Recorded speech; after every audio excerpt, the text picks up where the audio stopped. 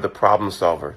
The problem solver is the person who is able to collect the income because they're making these two things come together, a buyer and a purchaser, and we brought them together with technology. And that was just a, a just an incredible thing. Another thing that was really powerful about that is that they didn't want to have a lot of the, the, the take. They didn't want to have 50%, 60% to make this happen.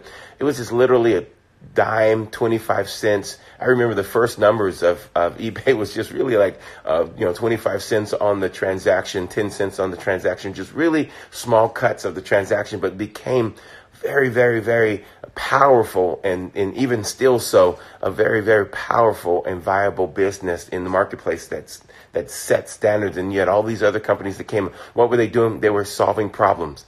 And at the level that you solve problems is at the level that you get paid. Would you rather solve a million people's problem and get 10 cents a, a, a person or, or transaction? Or would you rather solve one person's problem and get 10 cents? Of course, you would rather serve, it'd be nice to serve one person and get a million dollars per person you serve. That's great. If you can do that, that's an, also a massive disruption to the marketplace because that's not an easy thing to do to get to be the person that's saying, I'm worth a million dollars, write that check, just what I'm going to give you. If you can do that, that's wonderful. It's also based upon solving someone's problems. So in order to solve someone's problems, you have to be someone who is thinking like a problem solver and someone who is actually functioning and working in a position of problem solving, creating a team to, to, solve the problems or, or creating a system that solves the problems or creating a software that solves the problems. You have to create something that systematically allows the problem to continually be solved. So a person can go, that works for me. It's going to work for you. That works for you. That's going to work for you. That's going to work for you.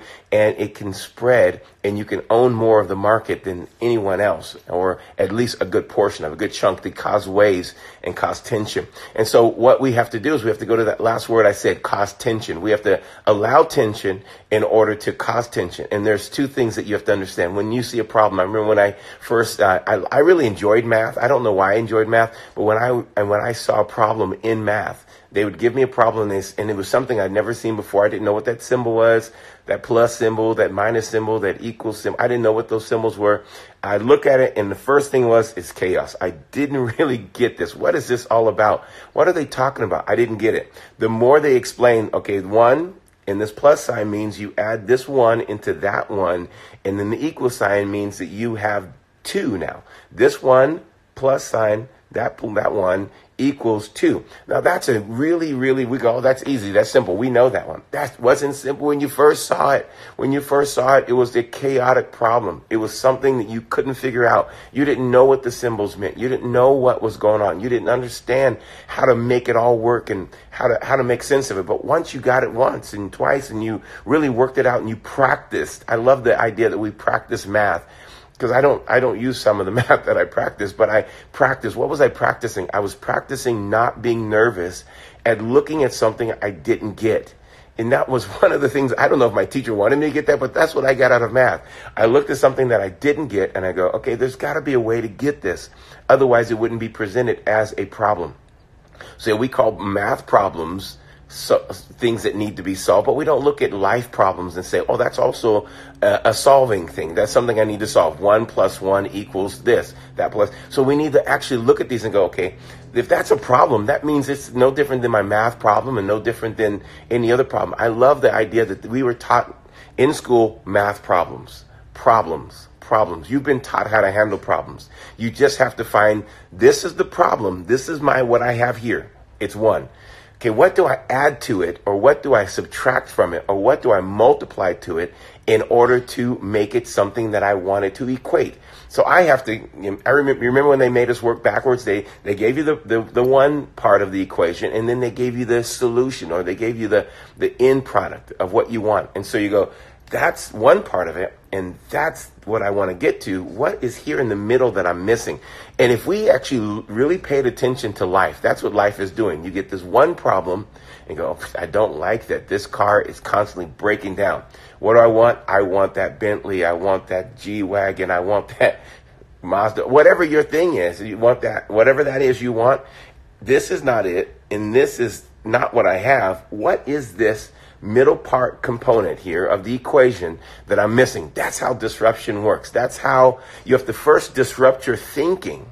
You have to disrupt your mindset. But before you can disrupt your mindset, you have to first disrupt the, you have to be okay with the chaotic problem you have to go okay this problem is chaos i don't get this i don't like this and i don't know how to get to that so what is this now as soon as i start asking about what is this what is this problem what is this part of the equation that i'm not getting i immediately start to break apart thoughts.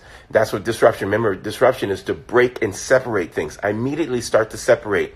Okay then i go okay well this plus what i'm making now uh, that doesn't equate that. This plus what I'm making now plus a side thing, uh, you know, side hustle, that could make that, or this plus what I'm making now, start that side hustle, make it into a business, then I can get to that but I don't feel comfortable about that that hustle, right? That thing. So you keep working that until you get to this right thought process, and that's how the disruption works. That's how everyone. That's why people come up with, you know, putting on an app and a person who has a car who needs money, right? That's their side hustle. They need a must.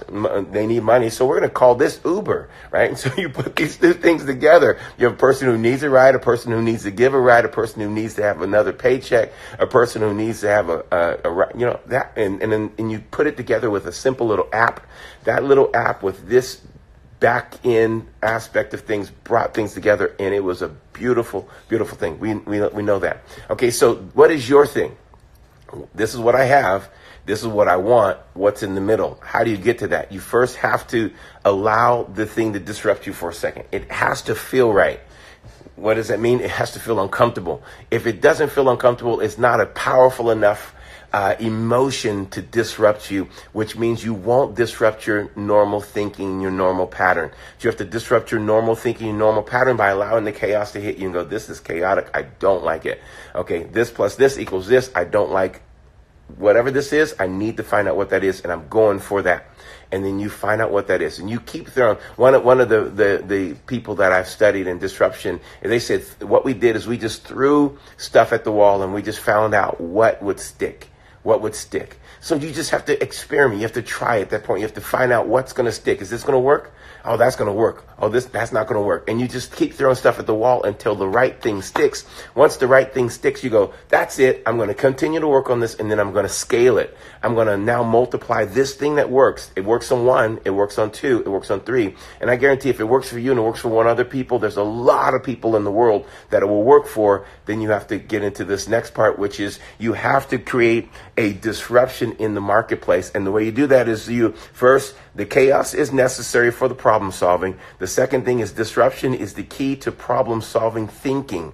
You have to become a thinker, get the right mindset. Then the third thing is problem solving is the key disruption in the marketplace. So you have to now present it to the rest of the marketplace and go, this is how I solve my problem. It also works for my best friend and my neighbor, my sister, my, however you use that testimonials, websites, you know, uh, social media post. You start to get that out there. You let people grab it, taste it, try it, give them a little bit of value up front. And then next, you know, you're creating a disruption in the marketplace by creating first a small tribe in the marketplace of people who go, I want that. I, that works for you. That works for me. I'm going to do that. Hopefully this is helpful. This is your Barrier Buster moment, the Barrier Buster talk of the day. We're learning how to disrupt in not only in our world, things are going to disrupt in our lives. We're going to know how to make those, those things equate to what we want. And we're going to have the mindset of a disruptor, which is a person who says, I can fix this problem.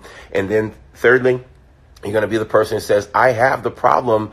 I have the solve, the solution for your problem here, marketplace, and we're going to give it out and we're going to let people know about it. That's what we're doing right here in Barrier Buster. We are creating a new disrupting thing for coaching world, for success and training and development. Continue to work it out. If you don't have your Barrier Buster app, which is your connection to your, your problem, your equation to, how I need coaching to now I'm going to get this lifestyle I want. Go ahead and download it right there at your Google Play or at your iTunes store. We'll see you next week.